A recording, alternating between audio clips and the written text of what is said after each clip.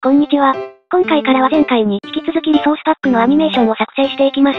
前回はブロックベンチの使い方の基礎、モデル作成、テクスチャ割り当て、マインクラフトにリソパを反映させて動作確認までやりましたね。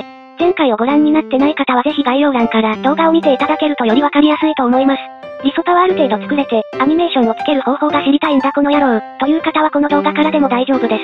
今背景で流れている魔法陣はリソースパックのみで作成しています。雷を降らすコマンドは組んでいますが、演出として付け加えてみました。最後にはもう少し凝った演出をお見せできればなと思います。では早速解説に入ります。まずブロックベンチで前回作ったスティーブを見てみましょう。佇んでいますね。これのヘドバンアニメーションを作っていくわけですが、の前にヘドバンの完成挙動をご覧ください。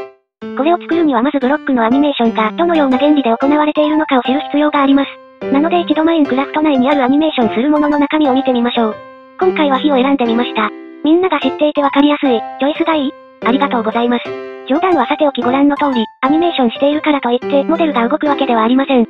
これは一面だけだからそうじゃんと思うかもしれませんが、立体的に動くアニメーションにも当てはまります。この日の場合、16ピクセルの画像が32枚集まってできています。要するにパラパラ漫画と同じ原理です。ではブロックベンチ内で、スティーブの顔を動かす挙動を確認しましょう。このように動かしたいわけですね。ヘドバンスティーブは3つのパターンで構成されています。うつむき、正面、仰向きです。なので顔と同じキューブを2つ複製して、動かしたい角度で配置します。これだと妖怪ケルベロスもどきなので、残りの2つの顔のテクスチャは消す必要があります。の前にこのテクスチャだとできないので、テクスチャを作りましょう。できない理由は長くなると思うので、概要欄に書いておきます。気になる人は読んでみてください。読まなくても動画の通りにやればできるようになると思います。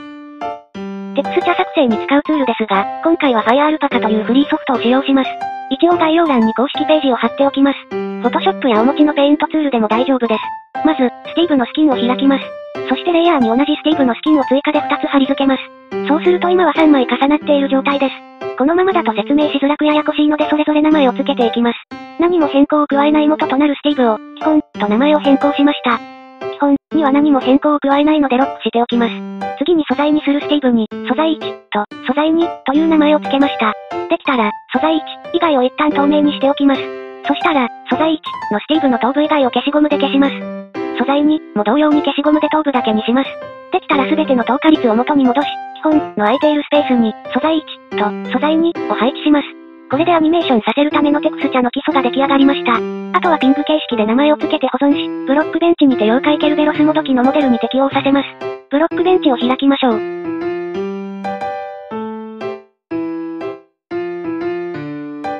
開けましたらまずは変更後のテクスチャをドラッグドロップで読み込みさせます。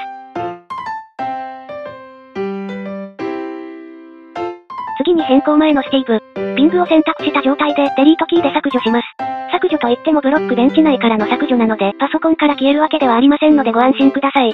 そしたら右のキューブ欄のグループのところに、今さっき読み込んだテクスチャをドラッグドロップします。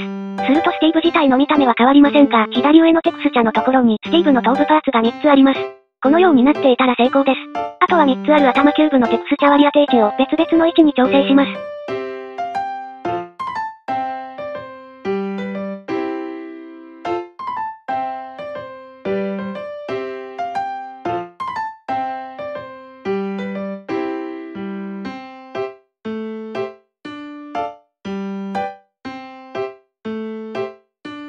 ペイントに行って確かめてみましょう。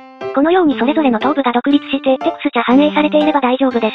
あとはアニメーションさせるために必要のない頭部を消しゴムで消す作業になります。今回のアニメーションでは4枚の画像が必要になります。まず開始位置は正面を向いているスティーブにしたいのでうつむきと仰向きの頭部のテクスチャを消しゴムで消します。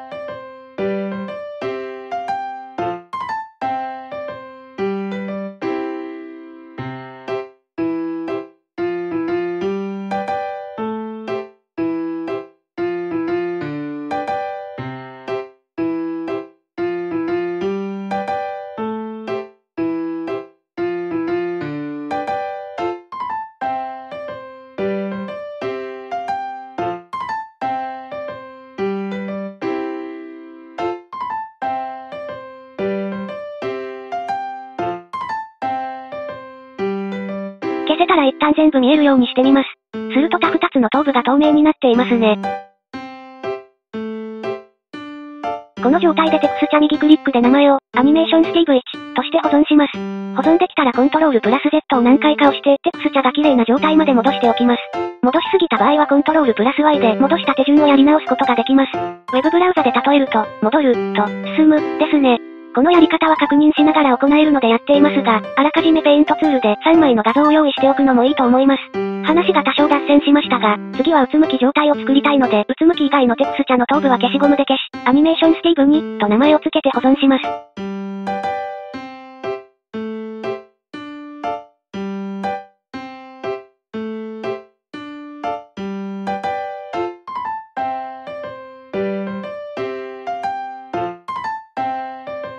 見るとできていますね。同じくコントロールプラス Z でテクスチャが綺麗な状態まで戻します。最後は仰向き状態を作りたいので、仰向き以外のテクスチャの頭部を消しゴムで消し、アニメーションスティーブさん、と名前を付けて保存します。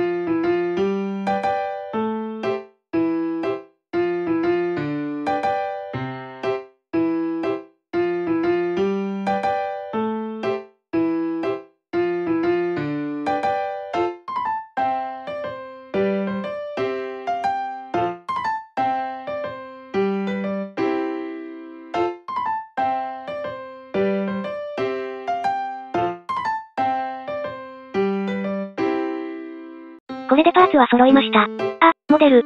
JSON ファイルも保存しておきましょう。次は縦長のキャンバスを用意して、今作ったパーツを並べる作業に入っていきます。これは特に難しい要素はないので安心してください。ファイアールパカに戻ります。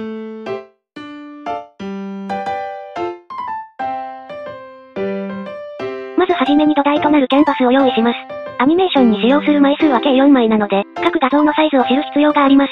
画像右クリックのプロパテを開いてみましょう。今回の場合だと 64×64 なので、幅64ピクセルの高さ256ピクセルで新規作成します。アニメーションさせる順番は、うつむき、正面、仰向き、正面でループさせたいので、まずは、アニメーションスティーブに、うつむき、を貼り付けます。その次に、アニメーションスティーブ1、正面、を貼り付けて H を、アニメーションスティーブ2、の下に持ってきます。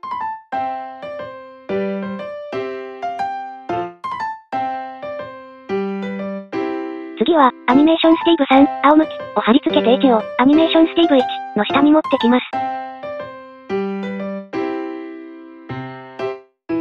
最後は、アニメーションスティーブ1、正面、を貼り付けて H を、アニメーションスティーブ3、の下に持ってきて完成です。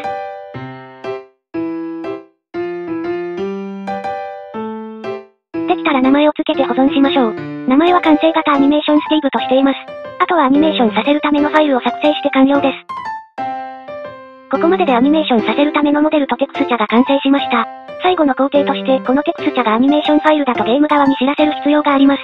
その必要になるファイル名は、ブロック名 png mcmeta、です。これがないとマインクラフト側は細長い画像そのものをテクスチャだと思って、ブロックのテクスチャがおかしなことになってしまいます。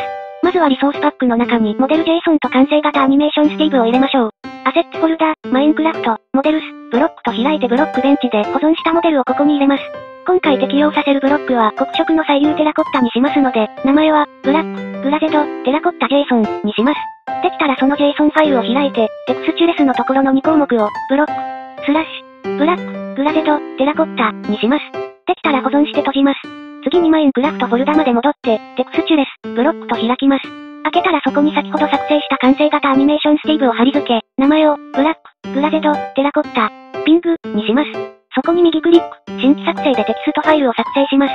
名前を、ブラック、グラゼド、テラコッタ、ピング MC メタ、とします。中身にはこのように記述します。この文字列は概要欄に記載しておきます。フレームタイムを変更するとアニメーション間隔が変わります。20にすれば1秒に1回アニメーションしますし、200にすれば10秒に1回アニメーションします。お好みで調節してください。今回は1にしています。できたら保存して閉じてください。これで全ての工程が終了しました。あとはマインクラフト内で動作確認を行いましょう。